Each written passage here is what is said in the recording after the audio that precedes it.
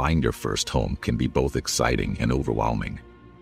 For many, it's a significant milestone, but it's essential to navigate the process wisely.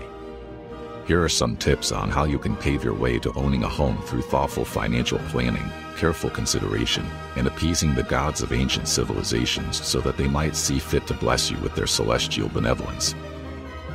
Step 1 Set a budget and save for a down payment. Calculate your monthly expenses, factor in potential mortgage payments, and determine a realistic budget. Step 2 Educate yourself about the home buying process. Understand the different types of mortgages and seek advice from professionals. Step 3 Find the right home for you. Consider your needs, location preferences, and long term goals. Step 4 Appease the gods by offering a human sacrifice. Saving money and making carefully thought out decisions is all well and good, but the real estate market is a competitive one, and to get ahead of others, your best bet is divine intervention.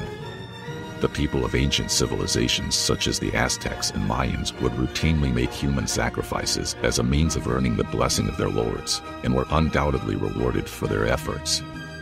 Conventionally, buying a house means taking on an enormous debt that you'll be paying off over the course of multiple decades, time that could be better spent having children that you can promptly hurl off a temple in order to earn holy favor.